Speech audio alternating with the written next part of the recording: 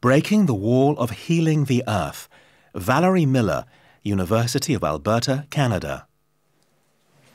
We do not inherit the earth from our ancestors, we borrow it from our children. As a land reclamation scientist, this proverb summarizes the why of my life's work.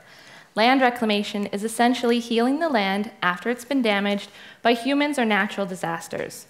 Globally, approximately 50% of land has been disturbed by activities such as mining or poor agricultural practices, reducing environmental health and increasing the need for land reclamation.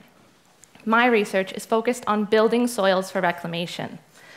Suitable soils are essential for successful plant growth and are the foundation of ecosystem development, but finding a source of soil is a major reclamation challenge.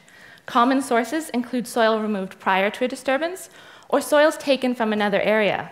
Unfortunately, often there's not enough soil, additional disturbances are created, and transportation costs are high. Moving beyond these sources, my research focuses on building soils using on-site mining waste material like rock or sewage. Waste becomes part of the solution, providing a low-cost material for soil building. The added bonus is that it eliminates the need for management of waste or disposal in overcrowded landfills. I conducted greenhouse and small scale field experiments at a diamond mine in northern Canada. I tested what materials were effective to build soil, how much of each to use, as well as how to place materials to mimic surface variation of natural environments to successfully support plants.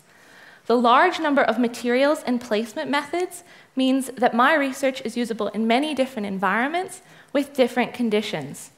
Key results include improvement of soil through addition of organic matter, like sewage, allowing more plants to emerge and grow. Building surface variation, like ridges and trenches, benefited plants by creating suitable growing sites with added wind protection and water accumulation. As our population continues to grow, and with it our need for resources like food and fuel, Governments, industry, and communities increasingly look to land reclamation for solutions. Results from my research have developed reclamation strategies that can be adapted and scaled for use at sites around the world. As we develop more successful and innovative methods to reclaim our damaged worlds, we become more likely to return an Earth to our children that is healthy and sustainable. Thank you. That was beautiful. Thank you so much.